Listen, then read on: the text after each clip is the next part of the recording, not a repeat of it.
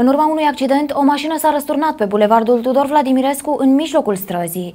Două persoane au fost rănite. Constată poliția, constată poliția. Doamnă, ia, haideți, mergeți fiecare unde aveți treabă. Mergeți, mergeți acolo. Constată poliția.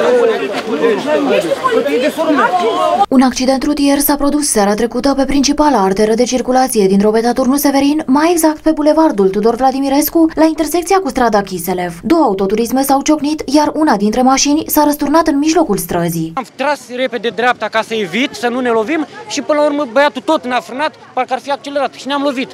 Am încercat să evităm. Botul este șters. Dacă eu treceam pe roșu, pe el îl luam, îl luam la jumătate, îi făceam ușa de... Poftim? Au sărit la tine, ce s-a Nu, întâmplat? nu, au încercat, au venit prieteni de lui să și le spun să-mi spună mie că eu am trecut pe roșu, că au văzut ei toți că este roșu.